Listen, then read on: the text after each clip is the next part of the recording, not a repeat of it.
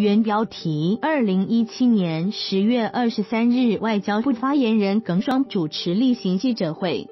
问：据报道，俄罗斯外长拉夫罗夫二十日在莫斯科核不扩散会议上称，解决半岛危机需要积极外交努力，当前主要目标是防止爆发军事冲突，否则将不可避免引发大规模灾难。解决朝鲜问题除了对话别无他途，呼吁国际社会支持俄中两国倡议。中方对此有何评论？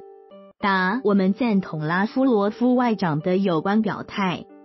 事实上，坚持通过对话协商和平解决半岛核问题是国际社会的普遍愿望与期待，也是联合国安理会有关涉朝决议的要求。这最符合有关各方及国际社会的共同利益，也是中方的一贯立场。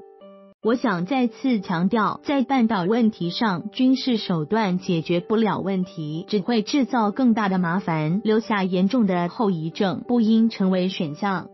中俄两国在半岛核问题上立场一致，一直保持着密切的沟通协调。中俄以双轨并行思路和双暂停倡议以及分步走设想为基础提出的共同倡议，是充分考虑并努力平衡兼顾了各方关切的合情合理的方案，有助于摆脱当前困境，并为复谈找到突破口。我们再次呼吁有关各方认真考虑，积极响应，共同为推动半导和问题重回对话协商解决的正确轨道，做出实实在在的努力。问：根据今天最新发布的贸易数据，今年前九个月中长贸易额小幅增长三百分之七，中方对朝出口上升百分之二十一，对朝进口下降百分之十六。你认为这些贸易数据是否反映了中方积极认真执行联合国安理会涉朝决议？答：首先，中方一贯全面、准确、认真、严格的执行联合国安理会通过的涉朝决议，履行我们应尽的国际义务，这一点毋庸置疑。第二，中朝作为近邻，两国之间保持着正常交往与合作。第三，我想强调的是，安理会在通过有关决议时也指出，有关制裁措施无意对朝鲜民生和人道需求产生不利后果，也无意对经济活动与合作、粮食和人道主义援助等决议为禁止活动产生不利影响。我提醒各方注意上述事实。问：日本众议院选举初步计票结果显示，自民党和公民党取得了压倒性的胜利，这说明日本修宪势力超过三分之二，可以在国会上提交修宪议案。中方对此有何评论？答：我们注意到日本众议院选举结果，中方重视发展中日关系，希望日方恪守中日四个政治文件和四点原则共识，采取实际行动推动两国关系稳定改善。同时，我们希望日本继续走和平发展道路，为地区和平稳定发挥建设性作用。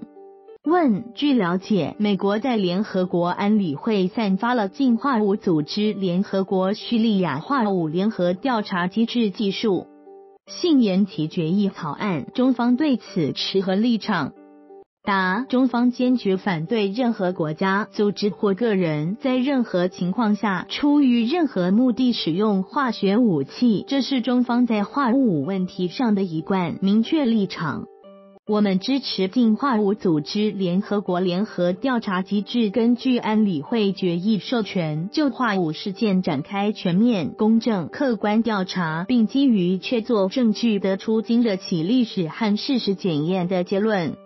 安理会正在磋商美方散发的调查机制延期决议草案。我们希望有关各方从维护安理会团结出发，耐心协商，争取达成一致，为妥善解决叙利亚化武问题创造良好条件，也为下阶段政治解决叙利亚问题营造积极氛围。问中国军方是否计划在未来一年内继续扩大在南海军力部署？中国政府是否认为继续在南海扩大军力部署不会引发地区局势紧张？答：中国对南海诸岛及其附近海域拥有无可争辩的主权，中方坚定维护领土主权和海洋权益。同时，我们始终致力于同直接有关当事国通过谈判协商和平解决有关争议，始终致力于同东盟国家共同维护南海地区和平稳定。我想重申，中国在自己的领土上开展正常的设施建设，这是国际法赋予主权国家的正常权利。至于你提到的具体问题，我不了解。如果你非常感兴趣，可以向国防部询问。